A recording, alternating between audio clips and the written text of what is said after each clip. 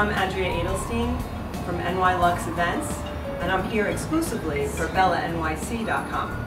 Today I'm going to teach you how to streamline a bar when you're entertaining. First and foremost, it's really important to decide what you want to serve. Instead of packing your bar with every type of alcohol you can think of, the best way is to decide what you want to serve. In this case, I recommend a few choices of vodka.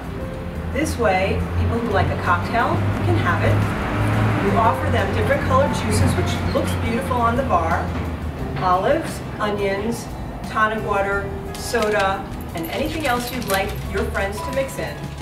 And different style glasses, highballs, and martini glasses, let them help themselves to any kind of cocktail they like.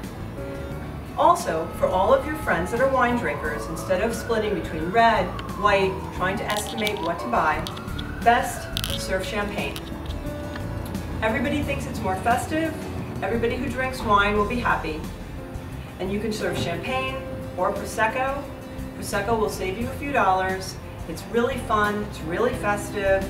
Everybody can help themselves and it's easy. And then you can be a guest at your own event.